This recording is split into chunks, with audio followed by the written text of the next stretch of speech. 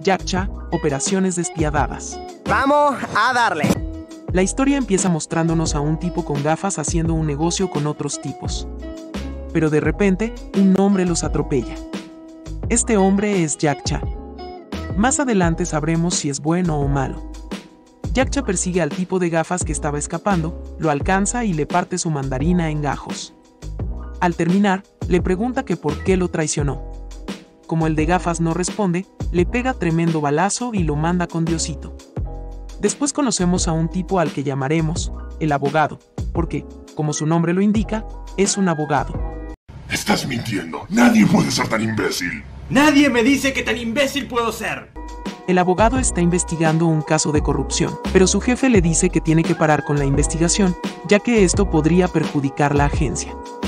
El abogado quería hacer lo correcto y se rehúsa, por lo que al final lo echan del trabajo.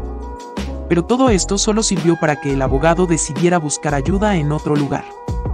Llega a un sitio donde una mujer le promete que le va a devolver su trabajo si le ayuda a espiar a una persona. Así que el abogado acepta.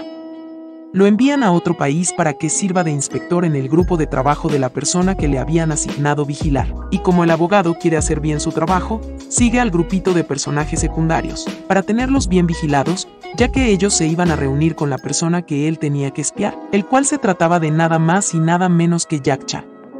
El abogado dice que él fue enviado para ser un inspector de su trabajo, así que Yakcha dice que le pongan un chaleco antibalas. Y por suerte se lo puso, ya que a Yakcha le habían tendido una trampa y empiezan los balazos.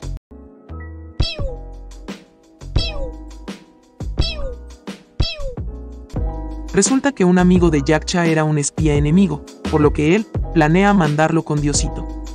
Pero el abogado intenta interferir, así que Yakcha desconfía de él y ordena que se lo lleven.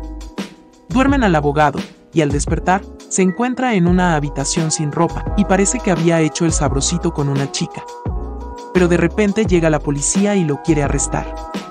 Así que el abogado debe escapar de la forma más segura posible. Burla a los oficiales de policía y ve a Yakcha sentado en una mesa. Cuando va a hablarle, él le dice que todo era una prueba para ver si era capaz de escapar de los policías. Yakcha le dice que se vaya, pero el abogado le dice que no se irá hasta conseguir información sobre lo que él estaba haciendo. Y aquí nos enteramos que Yakcha es en realidad como una especie de agente secreto y que es bueno.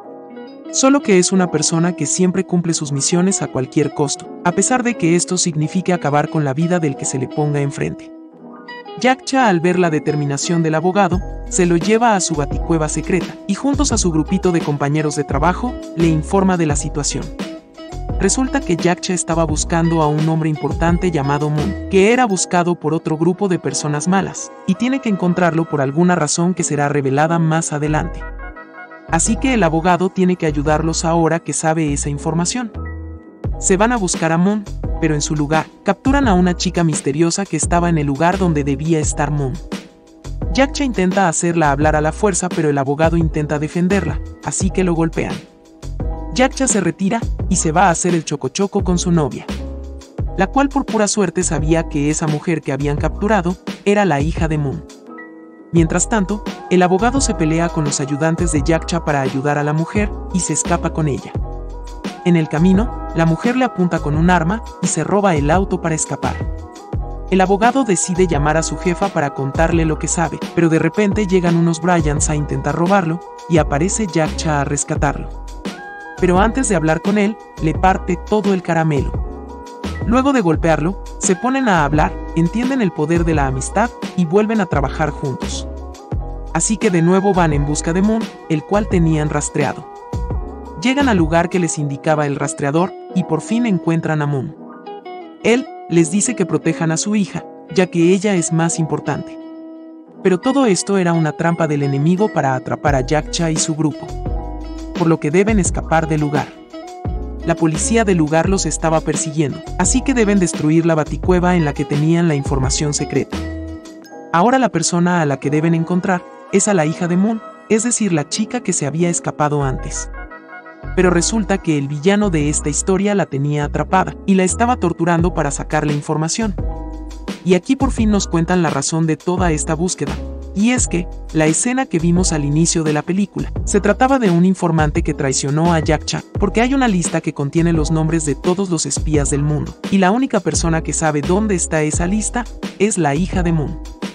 Así que deben rescatar a la hija de Moon. Y arman un plan, en el que Jack Cha y su grupo van a distraer al villano y sus hombres, mientras que el abogado se lleva discretamente a la chica. Después habla con ella, y ella le dice que el villano la buscaba porque ella planeaba hacer pública la lista de los espías de todo el mundo.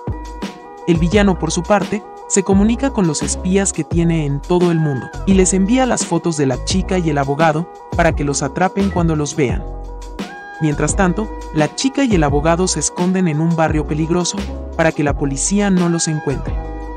La chica le dice que ella es la única que puede acceder a la lista de los espías. El abogado llama a Jack para darle la información, pero nos enteramos que uno de los amigos de Jack Cha era un espía del enemigo, por lo que tiene que pelear con él y mandarlo con Diosito. Y para empeorar las cosas, el villano atrapa al abogado y la chica. Jack Cha se da cuenta de que la mujer que había enviado al abogado a espiarlo también era una espía enemiga, por lo que la atrapa y la manda con mamá Coco. El abogado llama a Jack Cha para pedirle que se reúnan, y cuando están juntos, vemos que el villano había amenazado con deshacerse de la familia del abogado, si no acababa con la vida de Jack Cha. Por lo que el abogado le dispara, y después se va. Parecía que el villano tenía todo lo que quería, pero el grupo de Jack Cha se infiltra en las instalaciones, y no solo eso, sino que nos enteramos de que Jack Cha seguía vivo. Ya que todo era un plan del abogado para hacerle creer al villano que había acabado con Jack Cha. La chica logró acceder a la lista de espías y el villano le ordena que la borre. Pero para evitar esto Jack Cha dispara y empieza la super batalla final.